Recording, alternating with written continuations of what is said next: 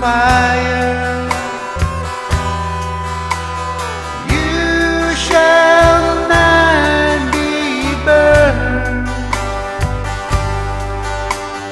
neither the flames kindle upon you. Be with you forever.